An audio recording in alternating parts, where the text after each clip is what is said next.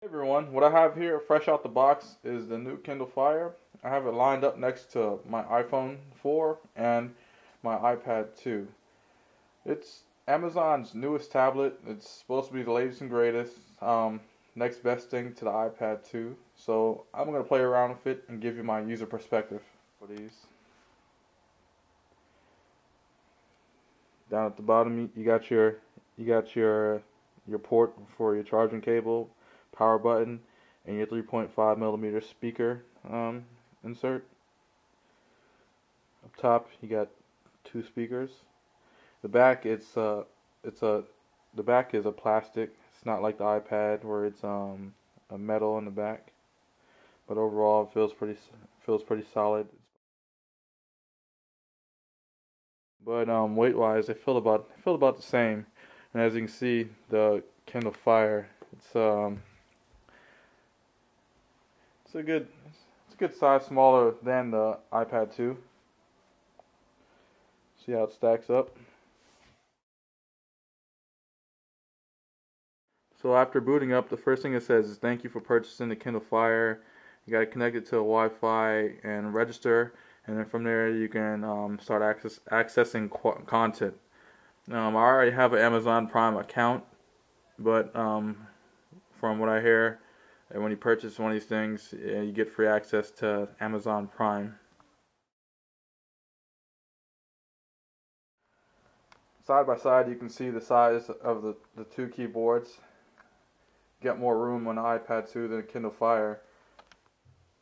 So the good thing about this device is there's definitely not a shortage of content um, as far as newspapers, magazines, books. Those are strong points for um, for Amazon. Video offerings. It's not quite.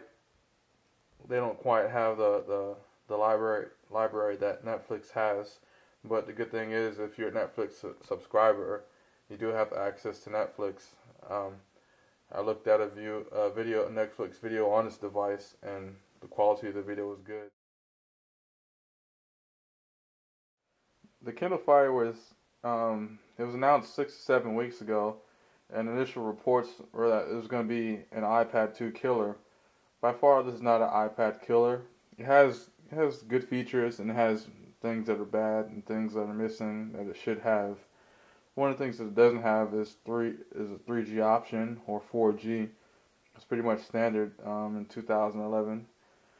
The the data storage space is quite slim at six and a half gigabytes. I think I understand Amazon's position where they expect you to have your data in the cloud, and if you need to access it, you can just download it to the, to the device. But if you're a traveler and you may not have access to, to Wi-Fi, this can be inconvenient. You do have the option um, connecting the, the the Fire to a PC and transferring your data um, with a USB cable.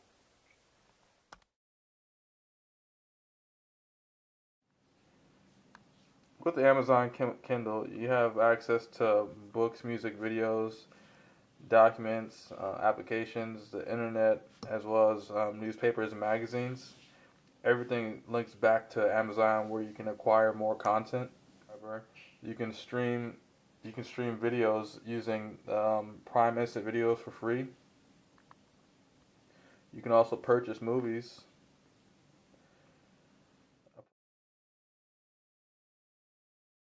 Watched the movie and the quality was was good. The speakers, I don't care for. You're better off um, plugging in headphones. To if I bought it solely for reading books, I'd prefer um, like the kin the Kindle e-ink device. This it just doesn't do it. Um, using the the free Kindle app on my iPad, I prefer reading books. One of the things I didn't like on this device is that in the Android App Store there are a lot of apps, but for some reason a lot of them aren't approved for to work on the Fire. You're allowed to to add one email account in, in this thing. If you want the ability to add more than more than one email account, you'll have to pay ten bucks to to get support for multiple accounts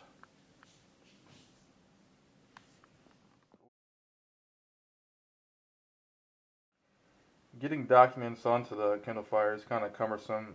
You have to take your document from a PC or wherever, and you have to email it to uh, uh, at Kindle email address. And then once you do that, you got to go into settings and you got to keep hitting the sync button until, until your document appears, which is kind of tedious, and I don't think that was well planned out.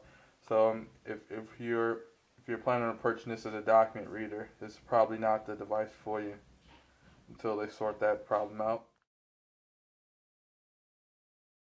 If you're a fan of the iDevices, as you know, Steve Jobs wasn't a fan of Flash and said deaf to Flash. And Adobe recently um, said they're going to discontinue mobile support for Flash. So I guess most sites will be switching over to HTML5. But um, as of now, you can access Flash with no problem.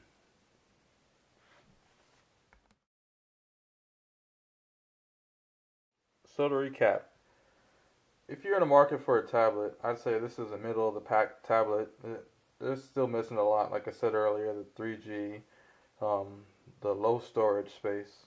But if you have a lot of Amazon content already, or you plan on spending a lot of money on Amazon, you have the Prime account, then this is this would be useful to you. Other than that, I'd say if, if you if you're solely interested in a tablet, stick with either the iPad or other Android tablets like the Samsung Galaxy 10.1.